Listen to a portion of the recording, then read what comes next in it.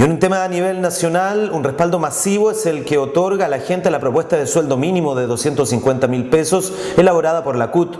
Entre los osorninos la respuesta es unánime y tiene que ver con el alza en los alimentos principalmente. Pasemos a escuchar las voces de los osorninos que fueron entrevistados justamente por este tema.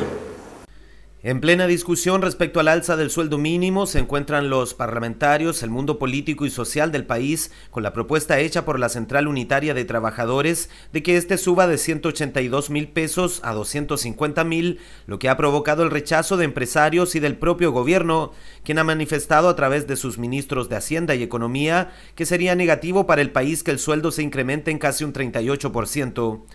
Cabe recordar que el ministro de Economía Pablo Longueira dijo que ningún gobierno serio va a fijar ese nivel de salario en respuesta a la CUT ante el temor de dejar a miles de familias con un ingreso mínimo que es cero. La opinión de la ciudadanía osornina es unánime respecto a que debe haber un alza consistente con el continuo aumento en el costo de la vida, productos alimenticios e impuestos, por lo que se muestran de acuerdo a la propuesta de dejarlo en 250 mil pesos. Oh, me parece súper bien porque hoy en día eh, está todo caro, las cosas están todas caras, yo creo que un obrero con 180 no creo que pueda ir. Yo creo que hace rato ya el sueldo ya debería estar en, en, en 250. Bueno, tú sabes que siempre hay opositores.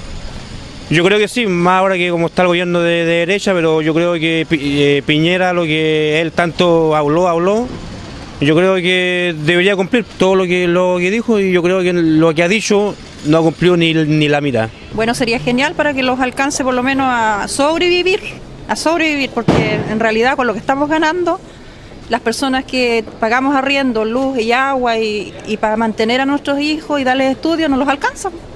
Y a pesar así que hay opositores, obviamente, ¿no?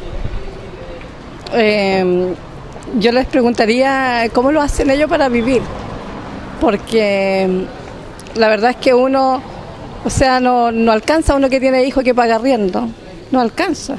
Y la vida que está tan cara también. Y la vida que está tan cara que todo sube, pero menos los sueldos. Para poder eh, darle una mejor calidad de vida a nuestros hijos, pues, si uno piensa en ellos, por algo uno trabaja. ¿Cómo? Esta iniciativa de que suban el sueldo mínimo. Está bien. ¿Sí? Más podría haber sido todavía. Más porque es muy poco. Eh, que deberían de subirle porque donde hay una familia grande, numerosa, no le alcanza. Yo he visto muchos casos, soy de Entre Lagos y he visto muchos casos que la gente no le alcanza con la platita que ganan y que subieran a 250 estaría un poco bien nomás. No mejor, mejor que diríamos, pero ya algo se salvaría. No es mucho 50, pero a 180 es irrazonable, digamos. Algo es algo. Estaría bien que suban el sueldo. Claro, porque puta, estamos puta, con el sueldo mínimo que hay, no hacemos nada. Pues. Puta, una familia que tenga 3, 4, 5 niños, ¿qué es lo que hace? Con 180, 200, 180 lucas. Claro, no, no le queda nada. Puta, con 250 estaría por ahí, siempre y cuando que no suba el comercio. Porque apenas sube, hoy en decir que va a subir el sueldo, el comercio se va a las nubes. Lo cierto es que el tira y afloja entre el gobierno, la CUT y el mundo social continúa ante esta propuesta que ha tenido detractores principalmente en el mundo oficialista, pero que es considerado algo justo por la ciudadanía.